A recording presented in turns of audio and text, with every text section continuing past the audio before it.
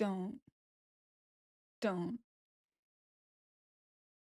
Hey everyone, welcome back to another film theory reaction on the channel where we watch videos you normally wouldn't watch. Yes, it's been a while, but we're back into film theory. Game theory's got us in a chokehold, but broke free for a little bit, and now we're getting into some Nemo lore, finding Nemo lore. So let's check it out. So, you see, Doc, um, sure, they may have found me in the end, but did I ever really find myself?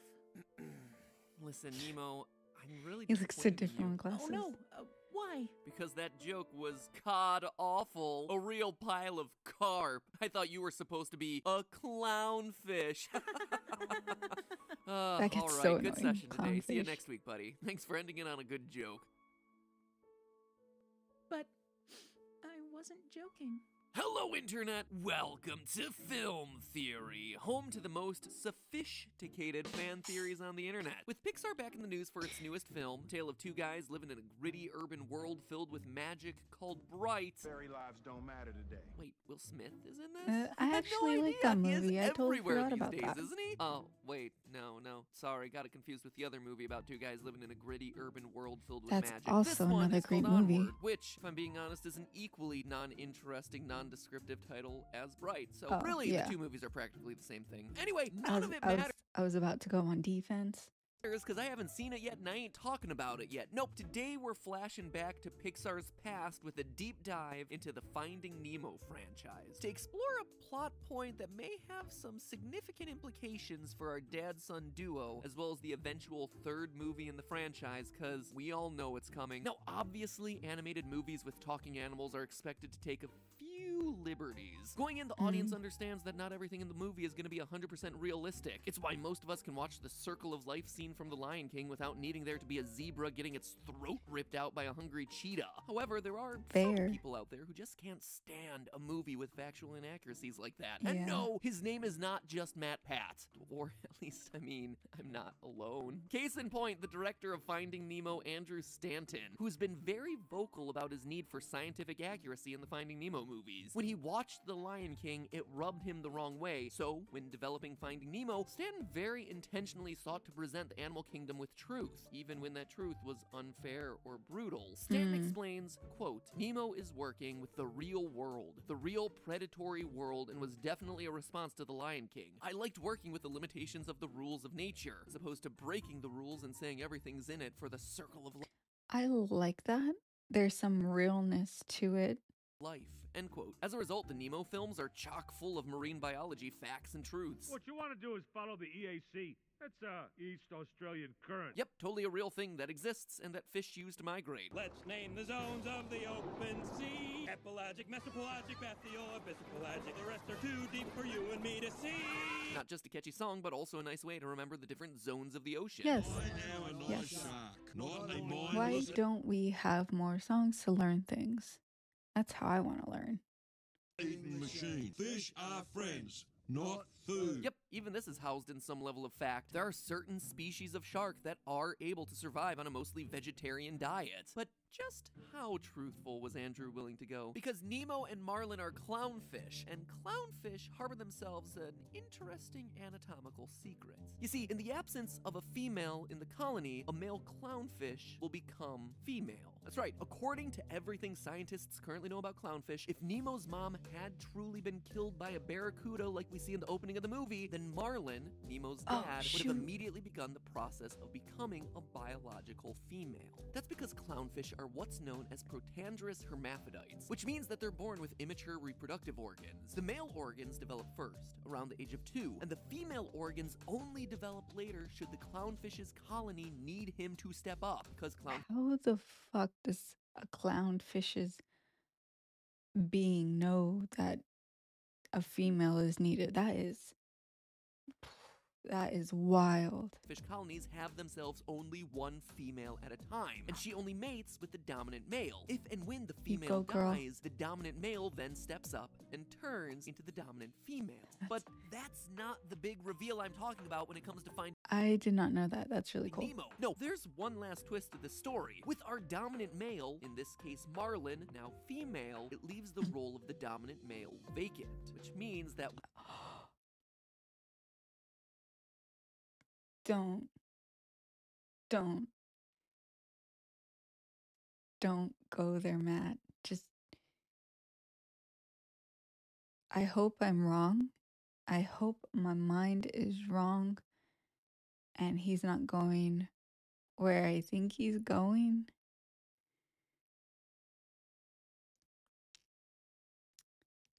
One of the immature males from the colony has to move up into the role of the breeding male. But in Nemo's colony, there's only one other Oh fish to fill that role Nemo himself. Meaning that when Marlin transitions into a biological female, Nemo would then biologically be required to move up into the role of the dominant male. In other words, in a completely realistic version of this movie, Nemo would then procreate with his own parent, Marlin. I know our unofficial tagline is ruining your childhood, but seriously, this one is really gunning for that title. Now, in all seriousness, surely Disney doesn't intend for their animated family franchise to be interpreted this way, right? I mean, we see a whole lot of Marlin after his wife Coral dies, and everyone, including Marlin himself, only ever identify him as being male, without question. A year later, during the events of Finding Dory, Marlin is still being referred to as a he, and there's certainly no evidence that Marlin and Nemo are, you know, taking a role in the anemone I mean. I mean, you never know what happened in in between Finding Nemo 1 and Finding Nemo 2. Dory, the two of them still live alone without any signs of tiny clowns around. Sorry, tiny clowns led to a scary visual there. Tiny underwater clowns are the stuff of nightmares. Let me rephrase that. The two still live alone without any signs of tiny clown fish around. What was that you said, Andrew Stanton? I liked working with the limitations of the rules of nature as opposed to breaking the rules. yeah, funny how we just glossed over that one. Making that comment now, huh? Then again, Stanton very, very clearly did his research on clownfish. He sought to show the animal kingdom in a realistic light, and it appears everywhere you look. Coral and Marlin embody the typical clownfish family dynamic to a T. As the most dominant member of their schools, female clownfish are the ones who venture out of the anemone and defend their homes against predators, while male clownfish tend to the children and rarely stray far from the anemone. Okay. Coral, in true female clownfish fashion, does not back down from the barracuda and dies defending her eggs. Likewise, Marlin is nurturing and overcautious about straying too far from home. Clownfish Oh. are Okay. Following. I guess that dynamic makes sense then. basically the only fish in the sea that don't get stung by an anemone, and the films are sure to toss that factoid in there too. Hey, guys, I was just. Dory! Even when we get to Finding Dory, the aquarium is littered with marine biology facts. So, just how far were they willing to push the scientific factuality of this movie? Well, this will come as a surprise to very few of you, but I have myself a theory a film theory. Okay, this theory kind of just popped into my head, and let me talk this out. So stay with me. So, what if the dad didn't physically change into a female, like I guess actual clownfish do, but characteristically he changed into a more typical female clownfish? So, what I mean by that is before he was very nurturing, he didn't really step in too much. But then, as the movie and story progresses, he actually takes steps to fight off any danger that can be harming, possibly harming his son. Maybe that's kind of how he tried to, the writer tried to incorporate that change into the character.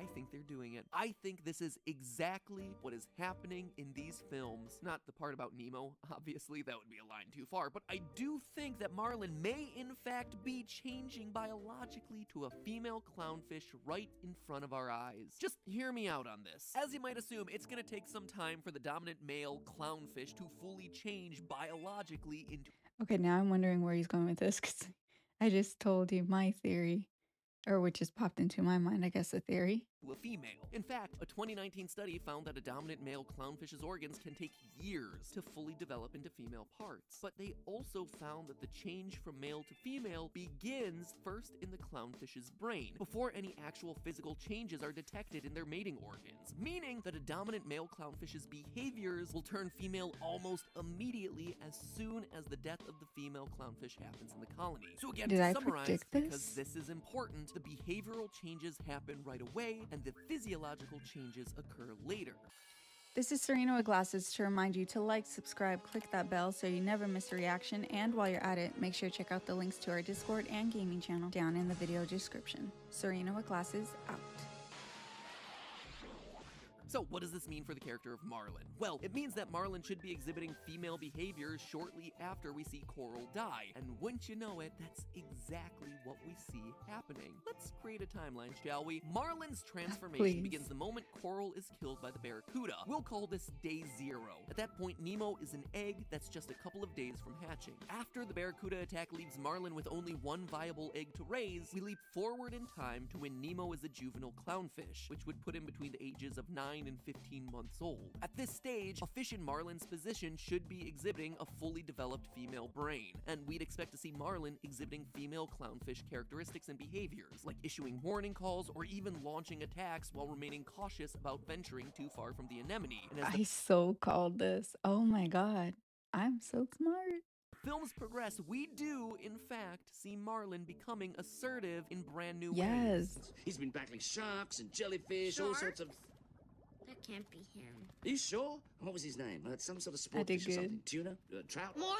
That's it. Marlin, the little clownfish from the reef. It's my dad! He took on a shark! I heard he took on three. And Marlin certainly does remain cautious about venturing too far from the anemone. Okay. A little a little side note. If we go back here, this pelican. Are you sure? What was his name? Uh, some sort of sport fish or something. Tuna? Uh, trout? Marlin? That's it. Marlin, the little clownfish from the reef. It's my dad! He took on a shark! I heard he took on three. And Mar- He's gotta be the coolest character in Finding Nemo. Marlin certainly does remain cautious about venturing too far from the anemone, even throughout the course of Finding Dory, which occurs one year later. So this means at the conclusion of Finding Dory, we're roughly two years from day zero, approximately 9 to 15 months at the end of the first movie, plus 12 months in the second movie, or about 24 months total. Nemo is now two years old, and theoretically, Marlin has been undergoing this changing process for two years. Does this theory hold Uh-oh. water based on the timeline of events? Yes. You see, the two year mark just so happens to be the pivotal point in time for both Nemo and Marlin. For Nemo, he's reached the end of his adolescence. so Clownfish weird. reach reproductive maturity at the two year mark. So Nemo is on the very cusp of this moment when Finding Dory concludes. This means that the next time we see Nemo, he's finally going to be able to step up into the role of the breeding male. But as we all know, it takes two to underwater tango, and at the two year mark, Marlin is still likely going through his transformation. In that 2019 study I referenced earlier, researchers observed the changing clownfish for a three year period. When the hmm. study concluded after those three years, only three of the 17 males had fully completed the gonadal change to female. So all of this is to say, when Finding Dory concludes, we wouldn't expect clownfish in Nemo and Marlin's positions to be rubbing fins, but we would expect them to start the process in the near future. So this feels like a smart place for Disney to end its family-friendly Oh, yeah. franchise, because Yeah. from here on out, things Cut are going to start to get hashtag awkward. So there you have it, folks. This is why we're never going to get Finding Nemo 3, because if the director is truly committed to scientific accuracy in his movie, there is no world, no world where a Nemo 3 could happen. Surely nothing could convince Disney to undermine its commitment to entertaining No. broad family audiences with base level entertainment. Not even money, right? Right? Well, just how much money are we talking about here exactly? Because from a financial standpoint, the Finding Nemo franchise is an absolute cash cow. The Finding Nemo duology has made more money than any other duology in Pixar history. In fact, when adjusted If they made a Finding Nemo 3, I would expect them to kill off the dad. That's like the easiest thing to do. Finding Nemo and Finding Dory are Pixar's number one and number two highest grossing films ever. And from a creative standpoint, director Andrew Stanton hasn't ruled out the possibility of a third Nemo movie. Here's another quote from him I really do feel like this was the missing piece emotionally for the first movie. Now, I've stopped saying never for anything because there are a lot of characters that get introduced and we've broadened the universe for this movie. And again, I'm very used to seeing that world continue to open up from the Toy Story movies, so I've Hmm. learned to just say, to my knowledge, I think everything that was born of the first movie is wrapped up. But we'll see. End quote. But let's take a look at that last comment, shall we? Everything that was born of the first movie is wrapped up. Not quite, Andrew. You see, I'm thinking the strongest argument for a third Nemo movie is from a story standpoint. The three main characters in both these films are Nemo, Dory, and Marlin. First, Marlin found Nemo in Finding Nemo, then Marlin found Dory in Finding Dory, and up next, naturally, we would expect Marlin to find Marlin. This Oh. won't be so much a Oh. physical search for Marlin as it is a story of internal discovery as Marlin shoulders new gender roles amid his own biologically mandated role Okay. change. It's like a marine biologist's version of transparent. He's discovering himself as a new fish, as the fish that he was always born to be. I mean, that'll be kind of tough to cut out for China there, Disney, but then again, some things are bigger than China. Disney could definitely use the PR after being pummeled in recent years for its lackluster portrayal of LGBT plus Hmm. characters. And let's face it, a story Yeah. like this is still rooted in the real world science that Andrew Stanton founded these movies on in the first place. But hey, that's just a theory. A film theory. And cut. that was good. I'm so glad I got that. You know, although I dislike having my childhood ruined with videos like this, I do enjoy them. So if you have any other film theories or theories on childhood movies that you want me to react to, let me know down in the comments and I'll check them out. But for now, if you have not seen my other film theory reactions, you can check them out here. Thanks for watching, and I'll see you next time.